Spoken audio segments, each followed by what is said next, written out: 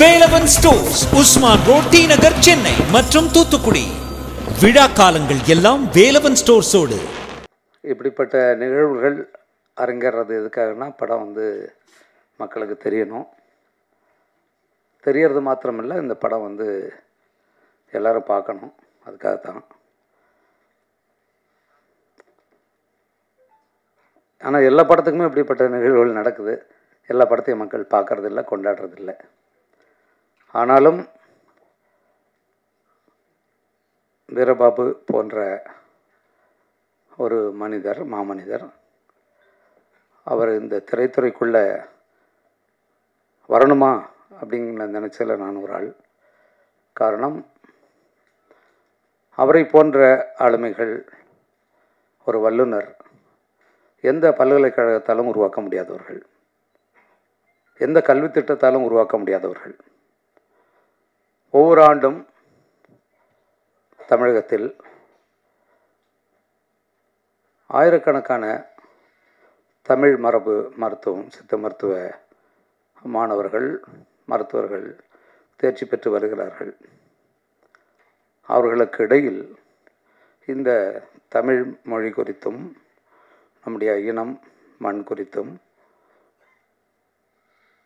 குறிப்பாக இந்த தமிழருடைய அரசியல் குறித்தும் ஒரு தீர்க்கமான பார்வை கொண்ட ஒரு சிறந்த மனிதராக நான் அறிய அவரை அறியப்பட்டதால் தான் இந்த மேடைக்கு நான் வந்திருக்கிறேன். வீரபாபு இந்த கதையை என்கிட்ட சொன்னார் ஒரு நாள் காரில் பயணத்தின் போது. எதுக்கு இதை சொல்கிறாருன்னு எனக்கு தோணுச்சு. பிறகு நான் இப்படி ஒரு படத்தை எடுக்கணும் அப்படின்னு சொன்னார். எனக்கு அங்கேயே இறங்கி வந்துடலாமான்னு தோணுச்சு எனக்கு. ஏன்னா அவர் எப்படி காப்பாற்றுறது எனக்கு தெரியல. என்ன சொன்னாலும் அவர் நிறுத்துகிற மாதிரி எனக்கு தெரியல. ஏன்னா இன்றைக்கு வந்து இந்த சினிமாவால் அதாவது இந்த திரைப்படக்கலை கண்டுபிடிக்கப்பட்டது வந்து ஒரு மக்களை மேன்மைப்படுத்துவதற்காக முன்னேற்றுவதற்கான ஒரு கலையாகத்தான் கண்டுபிடிக்கப்பட்டது. ஆனால் அந்த கலை இன்று அப்படி இருக்கிறதா? அதுதான் கேள்வி. அதை கலையாக பார்த்தவர்கள் கலையாக பார்த்தார்கள். இதை ஒரு வெறும் வணிகமாக வியாபாரமாக பார்த்தவர்கள் அவர்களுடைய கையில் தான் இப்போது சிக்கிக்கிட்டு கிடக்குது. அதனால் அந்த கலையாக எடுக்கிறவங்களுக்கு இங்கே வேலை இல்லை. இவர் சிறந்த படங்களை நீங்கள் பாருங்கள் அப்படின்னு சொன்னாலே ஒரு மாதிரி பார்க்குறாங்க. அதுதான் அங்கே பிரச்சனை. நல்ல படம் பாருங்கன்னாலே கொஞ்சம் ஒரு மாதிரி பார்க்குறான். அதாவது இந்த படம் பார்க்கவே கூடாதுங்கிற படத்தை தேடி பிடிச்சி பார்க்குறதுல முதன்மையானவர்கள் தமிழர்கள். நீங்கள் பார்த்தீங்கன்னா தெரியும். எந்த படம் நம்முடைய குழந்தைகளுக்கு காட்டக்கூடாதோ எந்த படம் நம்மளுடைய மனத்தை சிதைக்குமோ எந்த படம் நமக்கு அதாவது பின்னடைவாக இருக்குமோ அப்படிப்பட்ட படங்களை ஊக்குவிப்பவர்கள் நம்முடைய தமிழர்கள் மாத்திரமல்ல இந்த ஊடகமும் கூட. அதையெல்லாம் தான் இப்போ வந்து இங்கே வந்து சிக்கலாக இருக்குது ஒரு நாலைந்து நான்கைந்து நிறுவனங்களுக்காகவும் நான்கைந்து நடிகர்களுக்காக மட்டுமே தமிழ் சினிமா இந்த துறை இயங்கிக்கிட்டு இருக்கு. இதுக்குள்ளிருந்து முடக்கறத்தான் என்ன செய்யணும்னு எனக்கு தெரியல. நாங்களாம் பேசிட்டு போயிடுவோம். நாங்களாம் பேசிட்டு போய்டுவோம் அவ்வளோதான் செய்ய முடியும். இந்த படத்தில் இந்த நொடி இந்த ப இந்த இந்த ஒரு நிகழ்வுக்கு எவ்வளோ பணம் செலவாயிருக்கும்? அந்த பணத்தை அவர் எப்படி ஈட்டியிருப்பார்? ஒரு தமிழ் மரபு மருத்துவத்தின் மூலமாக ஒரு சித்த மருத்துவர் எப்படி அந்த ஊதியத்தை பெற்றிருக்க முடியும்? அப்போ ஒரு திரைப்படத்துக்கு எவ்வளோ செலவாயிருக்கும்? அவர் இந்த சமூகத்துக்காக என்னெல்லாம் செய்திருக்கார்? அதுதான் சமுத்திரகணி சொன்னார். இந்த சமூகம் திருப்பி அவருக்கு என்ன செய்ய போகுது? அவர் வந்து கெஞ்சலாம் மாட்டார் இந்த படத்தை பாருங்கள் எப்படியாவது என் காசு வரணும். அவர் கெஞ்ச அப்படியாப்பட்ட ஒரு ஆளுமை இல்லை அவர். ஆனால் தமிழர்களுக்கு அது இருக்கா? அதெல்லாம் இருக்காது. எந்த படத்தை பார்க்கக்கூடாதுன்னு சொல்கிறோமோ அந்த படத்தை போய் பார்ப்பான். அது எப்படி மோசமாக இருக்குன்னு பார்க்கறதுக்காக. ரொம்ப வருத்தத்துக்குரிய ஒரு இதுதான். இந்த இந்த திரை அண்ணன் மணி அண்ணங்கிட்ட சொல்லிட்டு இருந்தேன் தமிழர் மணி அண்ணங்கிட்ட இந்த திரையில் தான் என்னுடைய நான் எடுத்த முதல் காட்சி நான் வந்து பார்த்தேன். ஆயிரத்தி தொள்ளாயிரத்தி எண்பத்தி ஒன்பதாம் ஆண்டு என்னுடைய மலைச்சாரலுங்கிற படத்தை. இப்போல்லாம் படம் எடுக்கும்போதே பார்த்துட்றாங்கல்ல டிஜிட்டல் கேமராவில் அப்போ வந்து அந்த படத்தை எடுத்து அதை இங்கே பகுப்பு கூட்டத்தில் போட்டு அதை கொண்டு வந்து அது பிறகு தான் அப்போ தான் என்ன இருக்குன்னே தெரியும். அப்படிப்பட்ட ஒரு இடம் இது. இங்கே வந்து எவ்வளோ பெரிய ஆளுமைகள் எவ்வளோ பெரிய சிந்தனையாளர்கள் எவ்வளோ பெரிய படைப்புகள்லாம் உருவாக்குன ஒரு இடம். நிச்சயமாக சொல்லுவேன் இந்த படம் இந்த மக்களை பற்றி அக்கறை கொள்ளக்கூடிய இந்த மண்ணை பற்றி அக்கறை கொள்ளக்கூடிய ஒரு படம். அதுக்கு நீங்கள் என்ன மதிப்பு தரப்போகிறீங்கன்னு எனக்கு தெரியல. ஏன்னா உங்களுக்கு வேண்டியதெல்லாம் இப்போல்லாம் நாங்கள் எல்லோரும் வந்து நீங்கள் ரசிக்க ஆரம்பிச்சிட்டிங்க. ஒரு கொலையை பார்த்து ரசிக்கிற அளவுக்கு நம்முடைய மக்களை கொண்டு வந்துட்டாங்க. எவன் ஐம்பது கொள்ளை எடுக்கிறானோ அவனுக்கு தான் அதிக சம்பளம். யார் நடிக்கிறவனுக்கும் அவனுக்கு அதான் சம்பளம். அதை இயக்கிறவனுக்கும் அவ்வளோதான் சம்பளம். இது கொலைக்காரர்கள்ன்ற கத்தி வச்சு கொலை பண்ணுற மட்டும் இல்லை. அப்படிப்பட்ட காட்சி நடிக்கிறவனும் கொலைகாரன் அந்த படத்தை உருவாக்கணும் கொலைகாரன் அதை பார்க்குறவனும் கொலைகாரன். அது ரொம்ப வருத்தத்துக்குரியதுங்க அது. என்னென்னா சினி சினிமா வந்து ஒரு கலை அது. ஒரு சினிமா ஒருத்தனை மாற்றிடும் அவன் வாழ்க்கையை புரட்டி போட்டுரும். ஆனால் அந்த கலையை வச்சுக்கிட்டு நம்ம என்ன செய்கிறோம் ஜெயகாந்தன் சொல்கிற மாதிரி தான் நாஞ்ச நடன் சொல்லுவார். ஒரு வாழை வச்சுக்கிட்டு நம்ம வந்து இது தாடி மழிச்சுக்கிட்டு இருக்கோம். அது வந்து போரிடக்கூடிய ஒரு வாழ் திரைப்படக்கலை அதை வச்சுக்கிட்டு மயிரை வழிச்சுக்கிட்டு இருக்கோம் நம்ம. மிக ஒரு முக்கியமான ஆள் அவர். எனக்கு தெரிஞ்சு வீரபாபு போன்ற ஒரு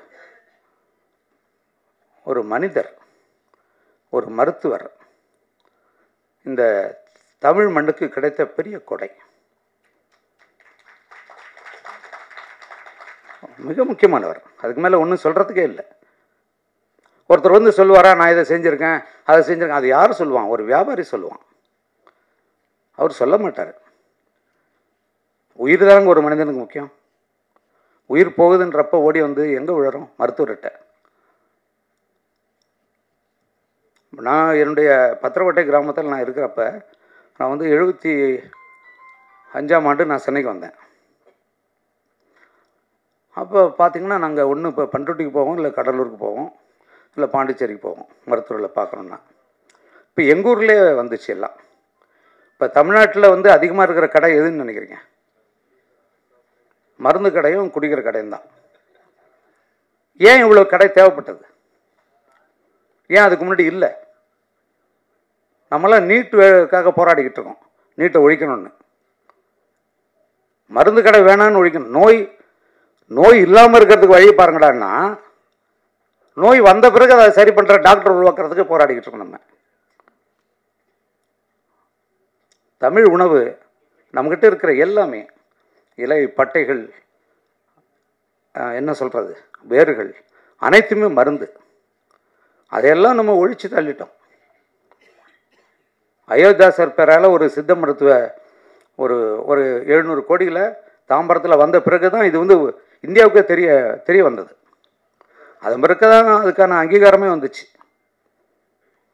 ஒரு பெரிய ஆள். எனக்கு வந்து அவரை அறிமுகப்படுத்தின சைதத்தோட சைமன்னா நான் மறக்கவே மாட்டேன். அவர் ஒரு முக்கியமான ஒருத்தர். எதுக்காக சொல்ல வரேன்னா இந்த மே இந்த இடத்துல நிறைய பேர் தமிழ் மக்களுடைய பணத்தை பிடுங்கிறதுக்காக மட்டுமே படம் எடுக்க வந்திருப்பாங்க. அவர் வந்திருக்கிறது வந்து வேறு காரியம். அவர் பெரிய காரியத்தை பண்ணியிருக்கார். அதில் நிறை குறைகள் இருக்கலாம். மருத்துவத்தில் அவர் சிறப்பாக செய்ய முடியும். ஆனால் அவர் கையில் இருக்கிற அந்த கருத்தை என் மக்கள்கிட்ட கொண்டு போய் சேர்க்கணுங்கிற ஆதங்கத்தில் ஒரு ஒரு திரைக்கலையை படைச்சிருக்கார். அதனுடைய குறைகளை நம்ம ஏற்றுக்கிட்டு அதை எடுத்துக்கணுங்கிறத நான் என்னுடைய மக்கள்கிட்ட வைக்கிற வேண்டுகோளாக நான் கருதுகிறேன்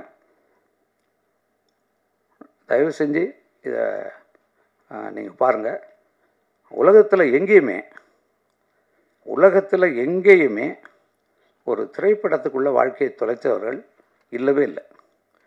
திரைப்படங்களை கண்டுபிடிக்கப்பட்ட நாடு வந்து ஃப்ரான்ஸு. நீங்கள் அங்கே போய் பாருங்கள் அங்கே சினிமாவை எப்படி பார்க்குறான்னு நான் இப்போ அண்மையில் முழு ஐரோப்பிய நாடுகளுக்கும் அமெரிக்காவுக்கும் ஒரு நாற்பத்தஞ்சு நாட்கள் போயிட்டு வந்தேன். எல்லாரையும் நான் சந்திக்கிறேன் எல்லாரையும் பார்க்குறேன். ஒரு சினிமாவை வெறும் ஒரு கொள்ளடிக்கிற ஒரு தொழிலாக மட்டுமே வச்சுக்கிட்டு மக்கள் என்ன ஆனாலும் பரவாயில்லன்னு சி சிந்திச்சுட்டே இருக்கிற ஒரு கூட்டங்கள்லாம் அங்கே தமிழ்நாட்டில் தான் இருக்குது அது பெரிய குற்றம் இல்லையா அது? மிகப்பெரிய குற்றம் இல்லையா அது? குழந்தைகள் அதை பார்க்குறாங்க அதுதான் பெரிய கொடுமை அது. நம்மளாம் எதை பற்றியோ க கவலைப்படுறோம். நமக்கு எல்லோரும் குழந்தைகள் வரப்போகுது. நம்மளாம் பாதுகாப்பாக வாழறதா உணர்றோம். நம்மளாம் ஒரு நடந்து போனால் ஒரு எறும்பு மிரிச்சிட்டா எடுத்து விட்டுட்டு போவோம்.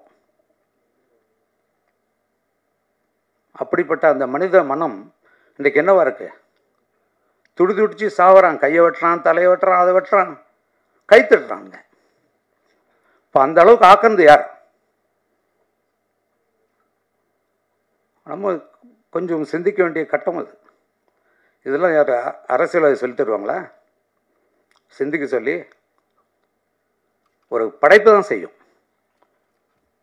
ஒரு எழுத்து செய்யும் ஒரு திரைக்கலை செய்யும் ஒரு இசை செய்யும் அது ஒரு ஓவியம் செய்யும் ஒரு சிற்பம் செய்யும். கலைகள்னா என்னென்னு நமக்கு தெரியாத அதான பிரச்சனை.